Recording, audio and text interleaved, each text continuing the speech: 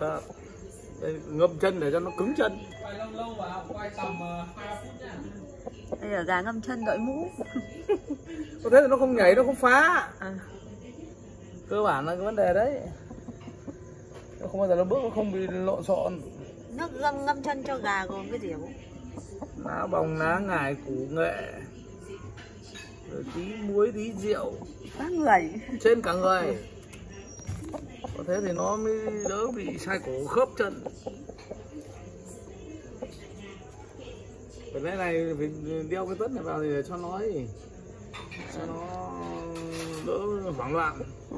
chứ không là nó bước nó phá đấy thế này nửa ngày được Thế hả?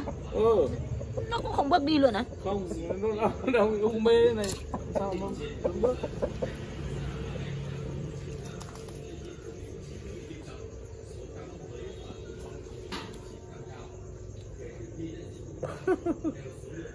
Cả Đứng im.